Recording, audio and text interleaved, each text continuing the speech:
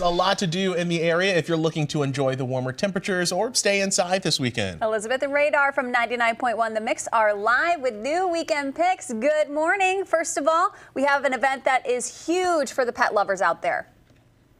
And all kinds of pet lovers. We're talking reptiles, snakes, cat, dogs. It is Pet Fest Milwaukee going at State Fair Expo tomorrow. It starts at 10 o'clock. This is your chance to spend a lot of money on your pets. Because if you have pets, we know that's exactly what you're going to do when it comes to snacks and treats and tips and all kinds of information all about the pets. Going out and see some really cute animals, and I'm sure there's going to be some animals there that you can even adopt. Yes, and it's Wisconsin's largest charitable pet fest.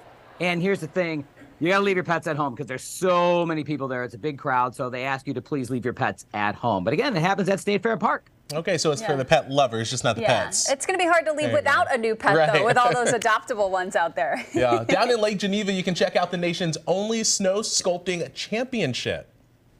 I tried sculpting one, but look, it it just won't stay together. I took some snow from outside. The freezer all morning until the break, and it is melting like Yeah. crazy in here. That's what it is. It's the 29th annual Winterfest in Lake Geneva. It's the largest snow sculpting championships in the country, and you can head down there and have some fun, watch them sculpt, and then also take part in maybe helping out the bars and restaurants there because they're going to have a lot of fun stuff for you. Some music outside and some whole bunch of fun stuff at Winterfest. Yeah, I actually went to the snow sculpting competition last year. Unbelievable. They're so Yeah. talented, and the sculptures are massive. Mm-hmm. It's like so cool And am to see. so talented. Yeah. You're absolutely right, Yes, Mallory. you are. Just like that, Radar, just like that.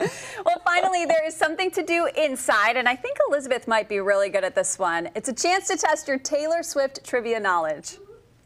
You said it. Taylor Swift, if you guys don't know, is all the rage right now, probably because she's dating Travis Kelce and going to the Super Bowl. but yes, Taylor Swift trivia is happening down in Sussex at the Thirsty Duck Sunday, 5 o'clock. Test your knowledge on Taylor Swift. Maybe do some of the mini bowling that they have there at the Thirsty Duck.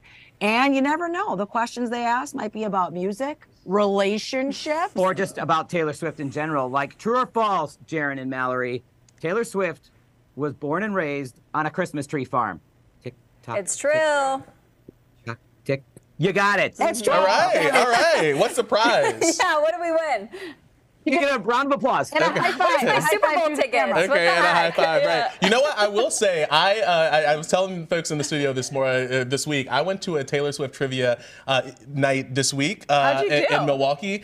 I did not stay very long because it was so packed. People love Taylor Yeah. Swift trivia. They will flock. So if you're gonna go down there to Sussex, Sussex maybe get there a little earlier. Yeah, looking for Yeah. new friends. And I'm I'm sure you'll thinking find if you want to bring people to your establishment, have Taylor Swift trivia. There you go. Super right. it smart. I was going to say, have Taylor Swift there. Yeah. right. She's a little busy. I was going to say she's busy this weekend. She's got the Grammys. All right, Elizabeth and Radar, always great to chat with you for weekend picks. We'll see you next week.